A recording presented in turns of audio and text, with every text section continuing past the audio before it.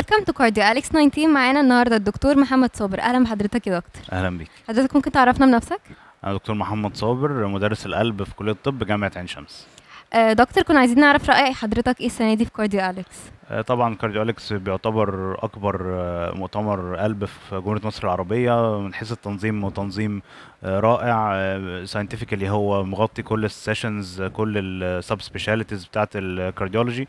وأنا فعلا مبسوط جدا إن أنا موجود هنا السنة دي وإن أنا كان ليا talk السنة دي الحمد لله. ممكن حضرتك تكلمنا عن ال talk بتاعتك؟ هي ال talk بتاعتي كانت عن ال follow up بتاعت ال patients with coarctation of the aorta وكان paper اتعمل السنة اللي فاتت واتنشرت في ال European Heart Journal إزاي نقدر نتابع العيانين عندهم coarctation في ال long term follow up بتاعهم يعني. آه دكتور كنا عايزين يعرف هل يمكن أن يطور فشل القلب؟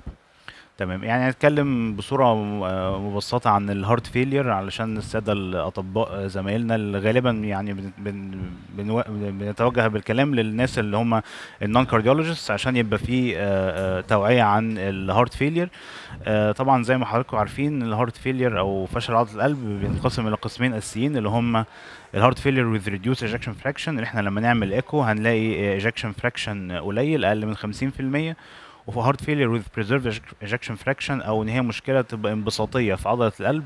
يعني نعمل ايكو نلاقي وظيفة عضلة القلب طبيعية ولكن المريض برضه بيشتكي من أعراض ال heart failure أعراض ال heart failure أو فشل عضلة القلب هي ب- أكتر حاجة بيميزها هي النهجان مع المجهود مع آه، تورم القدمين.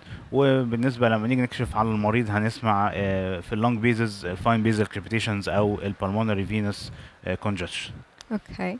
وما هو السبب الرئيسي لفشل القلب؟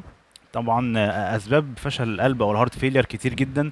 يمكن في بلدنا من الأسباب المشهورة جدا هي ال rheumatic heart disease والحمى الروماتيزمية في القلب اللي بتأثر على الصمامات تعمل ضيق أو ارتجاع mitral stenosis mitral regurgitation aortic regurgitation كل الحاجات دي بتنتهي ب heart failure أو فشل في عضلة القلب.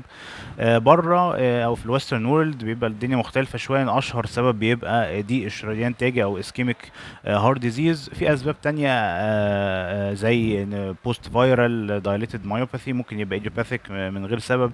ممكن يبقى congenital نتيجة لعيوب خلقية أو تكوينية في في القلب. وممكن ساعات بيبقى أمراض أو عدوى معينة بتصيب بتصيب عضلة القلب نفسها ويحصل فيها التهاب وضعف. وما هي أعراض تفاقم عضلة القلب؟ آه، طبعا ساعات بيبقى المريض عنده آه، آه، فشل في عضلة القلب أو heart failure وبعد كده يبتدي يتحسن يعني ال- ال- النهجان يبتدي يقل. فجأة نلاقي المريض رجع تاني بيسوق ولما نلاقي مريض يقول لي أنا يا دكتور أنا كنت متحسن في الفترة اللي فاتت بقالي سنتين ثلاثة كويس وفجأة ابتديت أشتكي لازم الأول أدور على السبب.